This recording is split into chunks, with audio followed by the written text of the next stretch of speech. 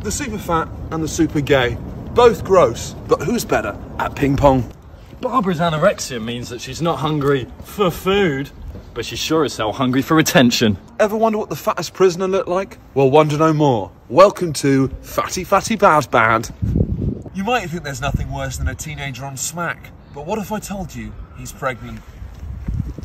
I'm on a mission around Britain to find out once and for all who has the weirdest nipples. I'm a little teapot, short and stout. Here is my handle, and here are my overweight children. Soon, this will be the whole of London if teenagers carry on playing their violent video games. Modern Britain or morbidly obese Britain? Christmas used to be about family.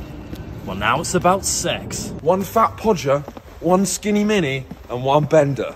But how would they fare in Japan?